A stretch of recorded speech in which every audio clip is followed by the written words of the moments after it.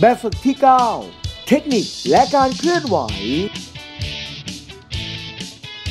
ผู้เล่นแถว C วิ่งซิกแซกตามกรวย และวิ่งอ้อมหลักก่อนวิ่งซอยเท้าที่บันไดไปให้แถว B